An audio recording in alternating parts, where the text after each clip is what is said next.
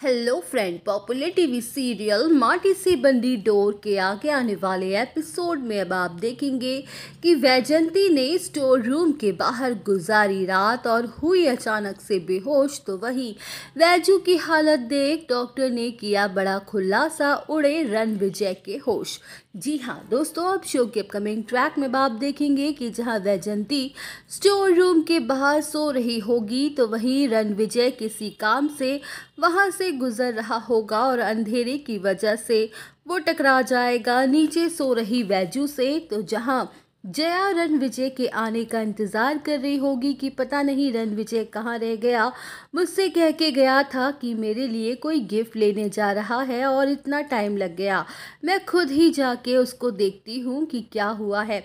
Well show के upcoming track में अब आप देखेंगे कि जहाँ जया रन विजय को ढूंढते ढूंढते जैसे ही कमरे से बाहर आएगी तो वो खुद भी शॉक्ड हो जाएगी। तो वहीं जया जैसे ही वैजू को होश में लाने की कोशिश करेगी तो देखेगी कि वैजू को तो तेज़ बुखार आ रहा है। जहाँ जया रणविजय से ये कहते हुए नज़र आने वाली है कि हमें तुरंत ही दीदी को हॉस्पिटल लेकर जाना चाहिए। हम घर में किसी को भी नहीं बता सकते हैं क्योंकि सभी लोग इस वक्त आराम कर रहे हैं। शादी की वजह से सभी लोग काफ़ी ज़्यादा थके हुए हैं।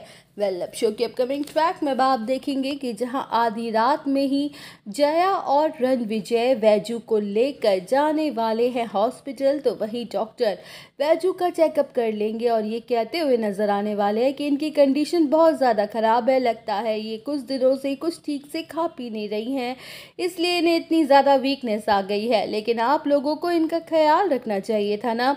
ऐसी हालत में ज़्यादा काम करना और अपना ध्यान न रखना, ये माँ और बच्चे दोनों के लिए प्रॉब्लम की बात हो सकती है। जहाँ डॉक्टर के खुलासे से उड़ जाएँगे रणविजय के होश और उसे याद आएगा कि कैसे वो और वैजू एक दूसरे के करीब आ गए थे। तो दोस्तों सीरियल से रिलेटेड और अपडेट जानने के लिए बने रहिए आप सब हमारे साथ। वीडियो को लाइक, चैनल को सब्सक्राइब करना ना भूलें।